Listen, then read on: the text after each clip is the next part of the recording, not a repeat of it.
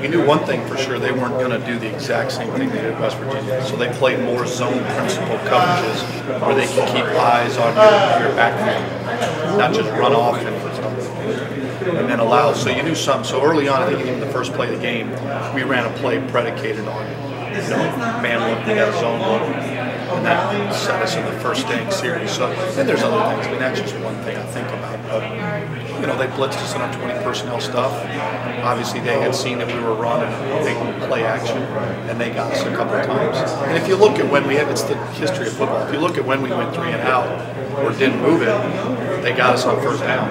So it was a lost yardage play, also second and 11, and it's a screen, and we just didn't block it right, and we lost a yard. Or Clint got sacked, you know, on a naked stay, pull up, and it's now second and 17, and then now you're behind the eight ball. So that's the big thing that we had done when we did move it, is we stayed kind of in manageable third downs. We moved the ball early. Uh, Clint was able to run it some.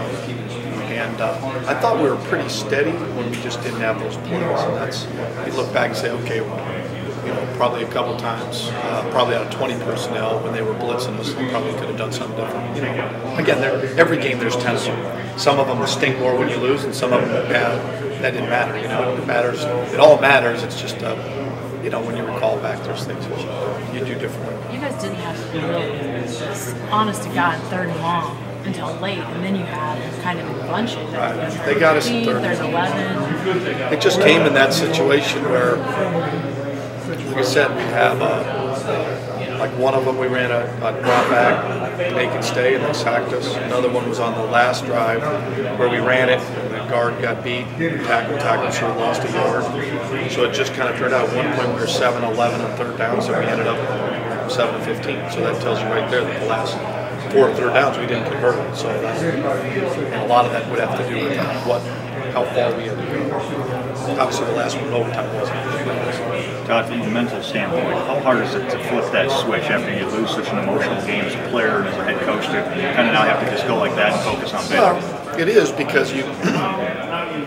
I don't ever want to be here where our team doesn't understand how important that game is. But when you do that, put a lot on that game, and then it's hard. It's harder to recover.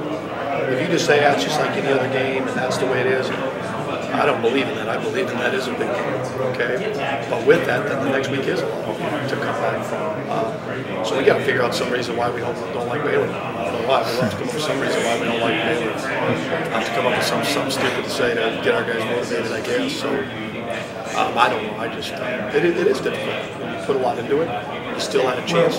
Not only was it that, but you still had a chance to be in the Big 12 race. You know, you want to be considered a really good program you want to be king of your state. And there's so many different reasons why. That's what makes it hard. Now you've got your Baylor team that's really kind of on the upswing winners. A three or four, uh, they're playing tough at home. They just beat Tech, and then they upset the number one team. And they could. They're really, they're, you know, they like any team in our league. You're a hair away from being. It's so balanced this year. Uh, you know, from top to bottom. You know, you can. You know, if you say, well, is there really one dominant team? I don't know there's 10 pretty good teams. And if you look at losing by seven on the road to, to West Virginia early, and you look at them losing, they were in the game in Texas. And you look, they turn over six times against TC. I mean, they've had their opportunities to win games, a lot like we have. Somehow we found a way to win with They haven't just won it, but uh, they've got really good skill players, they've got really good coaches. I mean, they've done a great job. I mean, no one wins at Baylor. And our Browns staff has won at Baylor, so that'll, that enough said Do you guys have given a, different view of the appreciation that from the standpoint of what you guys have done here, that they've been able to get it going. Mean, it's tough nowadays to get a program going like they've looks like sure. they've got it going now. Yeah, you've got to get you've got to get lucky and get some uh, some different makers.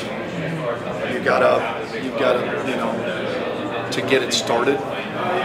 Um, I think you've got to have a really good plan and a good system, which I think if we're comparing places that Mike's had, and obviously I don't even know Art Briles, but obviously he won in high school and he's a good football coach, so obviously he's got a good plan. So and then and then okay, it's one thing to have a good plan, then you've got to have really good players, whether it's Case Keenum or it's or it's uh, RG3, and then you've got to do a great job of evaluating, which they have done.